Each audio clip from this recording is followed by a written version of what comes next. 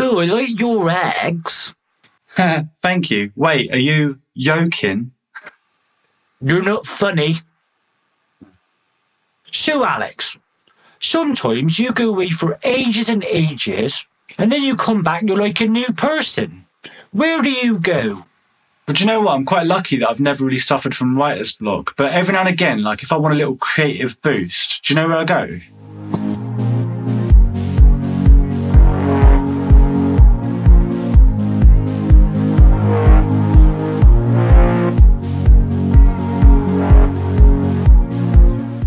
Do you go to the arcades? Oh, I love a two-piece shover. Do you go on the two-piece shovers? No, no, no, no. I mean, look, two piece shovers, classic time, classic time. But what I do, uh, I go on the Margate Art Pilgrimage.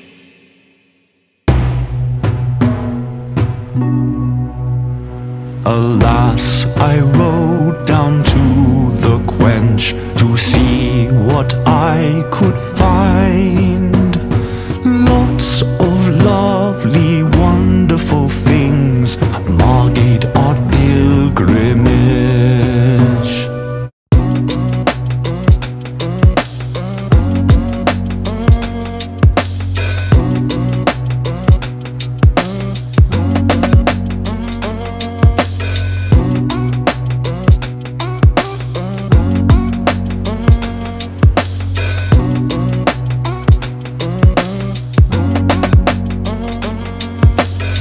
Yeah, so I love Quench. Um, I love Quench because I never know what I'm going to get when I go there as well.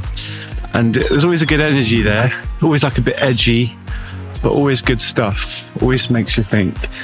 Um, also, they're really good. They do like a summer school as well. So they're really good for the community and stuff. So if you're a young person, you can go to the sort of school there, which is awesome. I'd have loved that if I was young again. But sadly, I'm not. Hurry along to the TKE studio, and what to my surprise,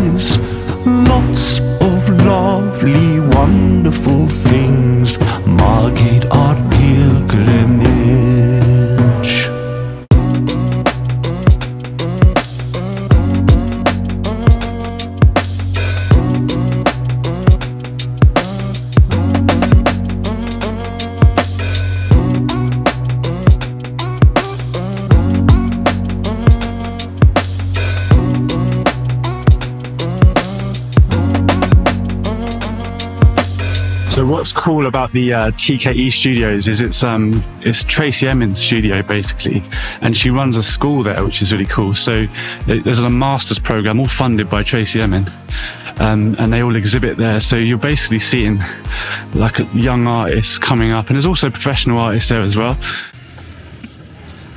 Just nearly got run over. Another cool thing about Margate, right, is that's Tracey Emin's actual studio. Look, so you can see canvases and stuff like that. It's just off the high street. Amazing, isn't it? Once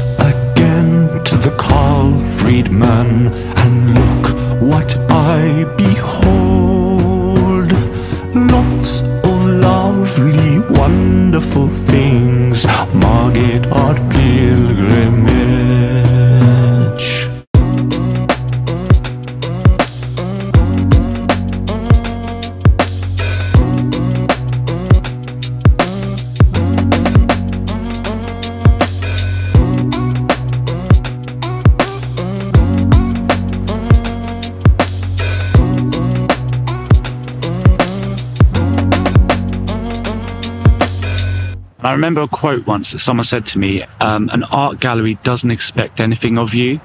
Yeah, I think there's always that thing of like trying to understand something. I think it's like innate human in us. that we have to try and understand everything around us. Like it's in our nature to do that, isn't it?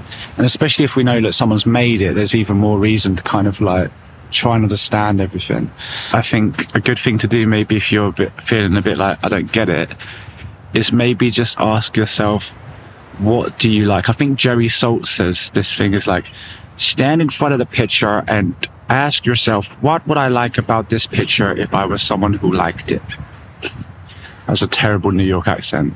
Um, but yeah, I think that's a really cool thing. You know, just look for something like, what if I did like this picture? What would I like about it? Is it like the color? the size of it, the shape of it, the form of it, like I don't know, whatever it is, you you can find something about it that you can kind of you know get or understand. Sometimes there's a little plaque in there on the wall, and you have to read that, and then that's the context. That's not the context. That's the context of what made it. It's not the context of what it is now. What it is now is what you're standing in front of and how you're feeling that day and, and how you're responding to that piece of art. You can make your own kind of narrative or context. Why I kind of love art galleries. For me, they're like, it's like a church really. It's like a place of like reflection and contemplation. And it does feel like there's something bigger there for me. It feels, it does feel almost like you feel when I'm in a church, that sort of presence of something that's bigger.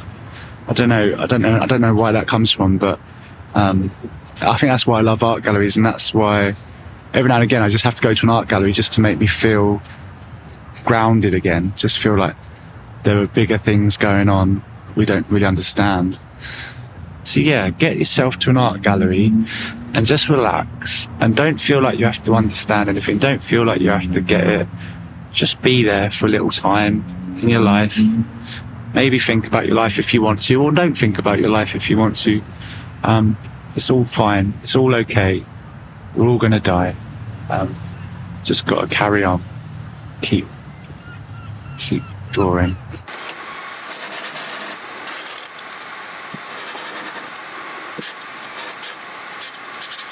Now the turner has its turn, last but not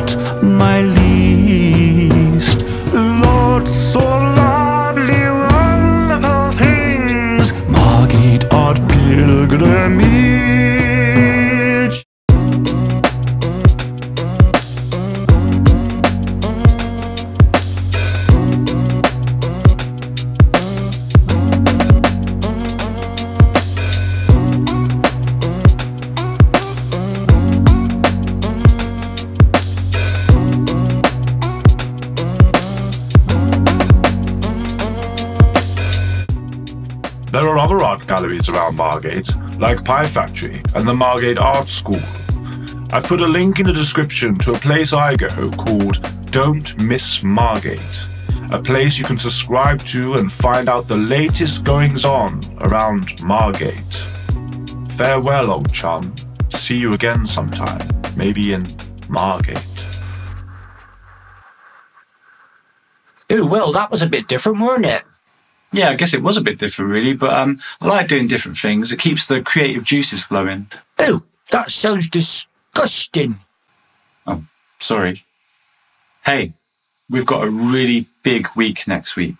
Boy, what's going on? So, I'm releasing a single from the album on Friday, the 5th of June. Ooh, exciting. What song are you putting out? Would you remember a couple of weeks ago I played you that song on the piano? Ooh, yeah, I remember. Have you put a beat on it yet?